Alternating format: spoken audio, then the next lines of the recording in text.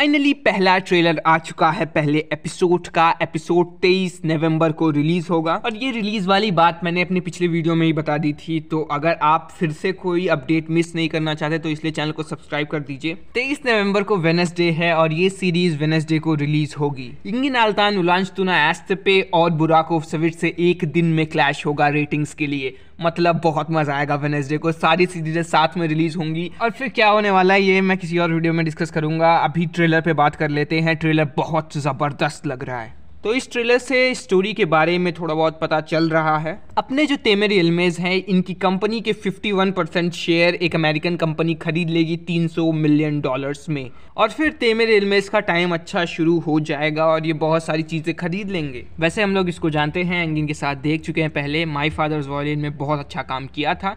इसमें देखते हैं कैसा काम करती है ये बच्ची। सीरीज़ की एक डार्क साइड भी होगी टेमी रियल में इसके चाइल्डहुड का फ्लैशबैक हमें देखने को मिलेगा एंड पेरी के साथ कुछ अचानक से बहुत गलत होगा। जहाँ तक बात पेरी की है तो पेरी किसी का बर्थडे सेलिब्रेट कर रही है या फिर अपना ही और उसके बाद ये जो बगल में खड़ी लड़की है, ये बेहोश हो जाएगी। क्या होगा उसके बाद? कुछ समझ नहीं आ रहा है, लेकिन ये सीन थोड़ी खतरनाक लग रही है। शायद यहाँ पे एक डेड बॉडी है। हो सकता है बॉडी इस लड़की की हो, लेकिन हो सकता है कोई फ्लैशबैक वाली सीन हो, ये अपने बचपन का सोच रही हैं, क्योंकि इनका भी फ्लैशबैक दिखाया जा सकता है सीरीज़ में।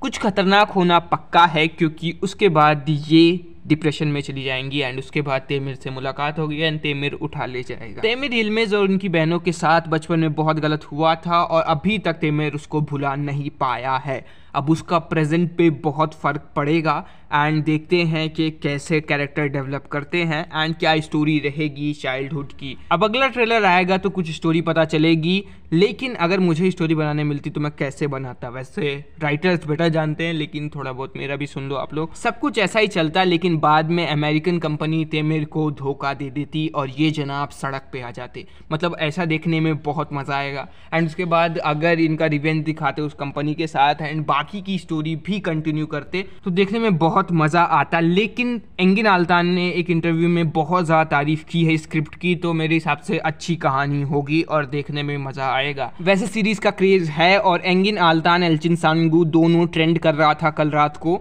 मतलब उस्मान को बहुत ज़्यादा मेहनत करनी पड़ेगी अपनी पोजीशन बचाने के लिए। पहले एपिसोड को रिलीज़ होने में 10-11 दिन बचे हुए हैं मतलब ज़्यादा टाइम नहीं और बहुत सारे वीडियोस बनाने हैं। तो अगर आप कुछ मिस नहीं करना चाहते तो आप जानते हैं क्या करना है। वैसे शूटिंग लोकेशंस ज़बरदस्त हैं एंड सीरीज़ देखने में बहुत मज़ा आएगा। वैसे एक चीज़ मैं बताना चाहता हूँ कि अगर चोप एडम सीरीज़ को रेटिंग्स अच्छी नहीं मिलेंगी तो फिर ये सीरीज़ भी कैंसिल हो सकती है, जैसे कि हियर मी सीरीज़ भी कैंसिल हो गई स्टार टीवी की ही थी एंड 20 एपिसोड बाद उसको कैंसिल कर दिया गया ख़राब रेटिंग के चलते एंड हो सकता है कुछ और मामला रहा हो, लेकिन मेरे हिसाब से रेटिंग्स ही था, बहुत ख़राब रेटिंग्स थी उस सीरीज़ की। और इंटरनेशनल ऑडियंस ने सीरीज़ को बहुत पसंद किया, लेकिन अगर टर्की के लोग ही नहीं पसंद करेंगे तो फिर क्या फ़ायदा? वैसे मेरे हिसाब से चोप एडम के साथ ऐसा नहीं होगा, क्योंकि दो बहुत बड़े स्टार हैं एंड टर्की में भी इस सीरीज़ का बहुत ज़्यादा क्रेज़ रहेगा अगर स्टोरी अच्छी रही तो। वैसे अगर मुझसे कुछ भी मिस हो गया हो तो कमेंट सेक्शन में ज़रूर बता देना। मिलते हैं आपको किसी और वीडियो में। Thank you for watching